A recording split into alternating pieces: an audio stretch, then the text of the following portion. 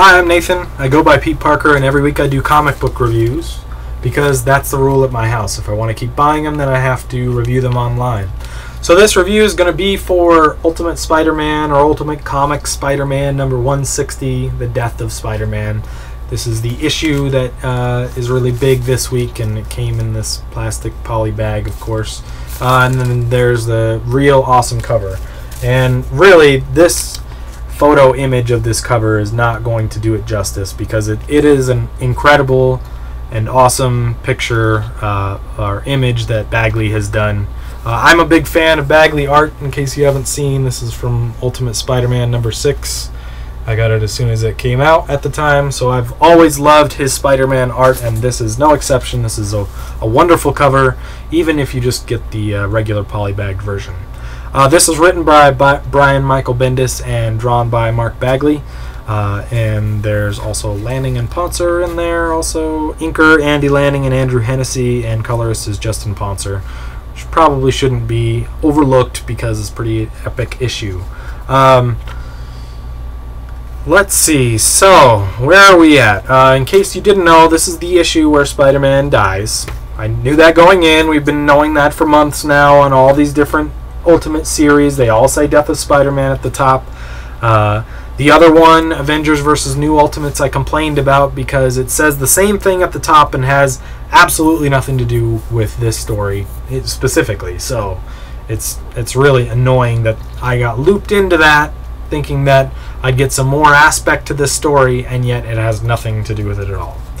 Uh, generally, in, in this book, if you don't want to listen, if, if you don't want to hear what happens, I'm going to say what happens right now. So you either skip to the end and uh, get my rating, or go ahead and turn it off and wait until you read it. Uh, basically, the uh, Spider-Man took a bullet for Captain America when the Avengers versus the New Ultimates were fighting. Um, and then, as soon as he that happened, there was an explosion, and he got cut off from the rest of the team. And he saw the Sinister Six flying through the air, making their way to his house in Queens. He saw the direction they were going. So he basically followed them to his house. Uh, Iceman and, and uh, Johnny Storm were there. They fought a little bit, and those two guys were knocked out. And then Spider Man um, showed up and started kicking butt right away. And then he's managed to take out all of the Sinister Six uh, and was just about to relax with the help of uh, Aunt May, of course, a gun wielding Aunt May. That was pretty interesting. Um, and is just about to relax and wait for help to arrive when the Green Goblin wakes up and gets up and starts to attack again. So, uh, in this book, you basically have the Green Goblin fighting Spider Man uh, along with a lot of his uh, family. There he is trying to get uh, Aunt May and Gwen Stacy away from him, away from the Green Goblin, while the Green Goblin attacks. Uh, and then there's a point in here where Aunt May realizes that he's bleeding and that there's trouble. Um, and then uh, Spider-Man gets a few good hits in and tries to wake up Johnny Storm to help him take out the the uh, Green Goblin. Uh, which seems logical, right? There's fire and fire. Johnny Storm's master of fire. You'd think that he'd be able to suck it all up, but instead, he only uh, powers up the goblin more or less uh, and makes him uh, look like he has some cosmic energy going on and make him super powerful and makes one of his horns grow back, uh, which kind of sucks for Peter. But Peter still manages to get a lot of good lumps in there, and then right as he was down and about to be taken out finally, uh, Mary Jane drives a truck into uh, the Green Goblin and more or less knocks him out. Uh, and then Spider-Man wakes up and able, is able to sum up the strength to lift up the truck, smash it back down on the Green Goblin, and make it explode to where uh, it blows him back away at the same time as it seemingly uh, kills the Green Goblin. Uh, or did it, right? So there he's exhausted, and his friends go to his aid, and they see that he's hurt, and they're waiting for the ambulance or whatever. Uh, and he gets this uh, extreme look of happiness on his face that he was finally able to take out all the uh, the threats to his family's life, uh, and then he apparently dies. Doesn't really seem like he dies altogether. But I, you know, they're saying death of Spider-Man this whole time. He's probably really dead.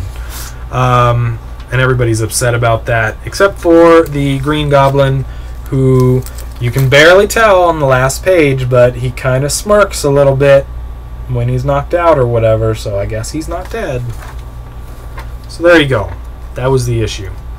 Um, I, as a obviously an Ultimate Spider-Man fan that's been collecting this for a long time, uh, really enjoyed the issue. Obviously, uh, I've always liked the Green Goblin in the Ultimate Universe. I thought it was a much better take on the same idea and uh, made more sense for him to be super powerful and crazy at the same time.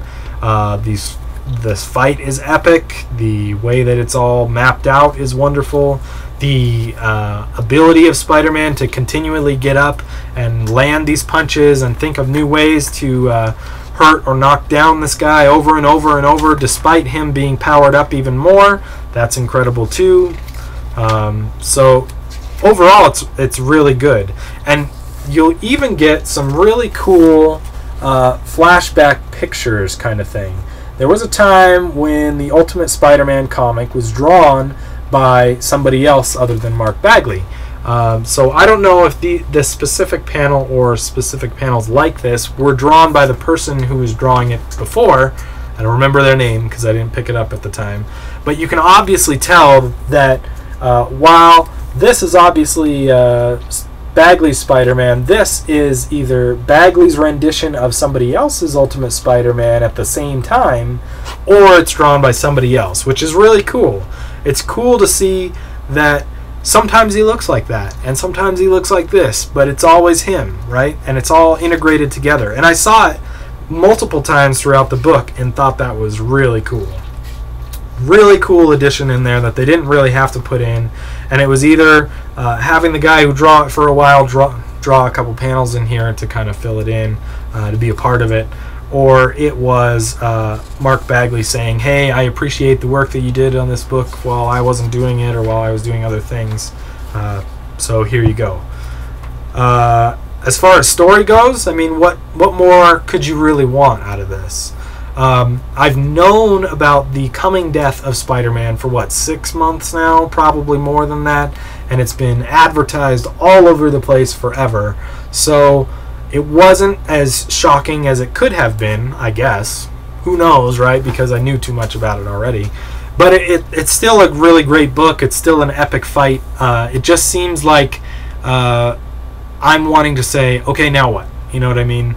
Like, I'm already ready for the next person to jump in. Like, almost as soon as Ultimate Spider Man laid down, Peter Parker laid down, somebody else jumps in and takes over, and they look like Spider Man, or they do something like Spider Man again. That would have been incredible, right? But I'm ready for the next part to come because I knew this has been happening for a long time. There's been a ton of issues in Ultimate Spider Man about him coming to terms with, you know, his life being okay and everything going well for him or whatever. Uh, but all at the same time, knowing that it came, I still got a little choked up. I mean, I've been with this character for a long time, for ten years probably, right? Maybe maybe eleven years now. Um, so, you know, I've and he's still a kid, right? And he died right in front of his family, and all that stuff is pretty heavy. Uh, so, you know, I'm a parent too. That's what happens. So there you go. Uh, even though I knew it was coming, it still got me a little choked up a little sad to see him finally go, but I'm totally ready for the next thing that comes down the pike. The next way that they twist the Ultimate Universe to be different than the regular universe in the same interesting way, featuring characters that I like too. So it did not disappoint. And while I can't, I would have a hard time See, I, I want to give it a 5 out of 5 because it's so epic and so important or whatever to this specific character. But at the same time, knowing so much about it and kind of uh, having this level of expectation for this book for so long, it doesn't feel like this specific issue was a 5 out of 5. Now, there have been some recently in this series that have been that way. Um, I'd be more apt to give it a 4 out of 5 if it wasn't so crucial and important and ultimate universe changing uh, to the series.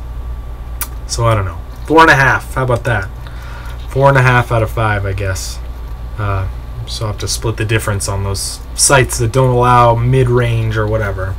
But there you go. It's really good. It's not incredibly surprising, but it's probably everything that you want to see in the Death of Spider-Man. Uh, so there you go. Uh, Ultimate Spider-Man number 160, The Death of Spider-Man. That's the review. If you want to check out the rest of my reviews, it's under Spidey207 on YouTube or under Pete Parker on uh, the Marvel and DC databases, on iFanboy, which is an awesome site too, and Comic Vine. So uh, if you have any questions or comments for me, just leave them. I'll get back to you as soon as I can. And uh, as always, I appreciate you uh, watching and listening, and we'll talk to you next week. Thanks a lot.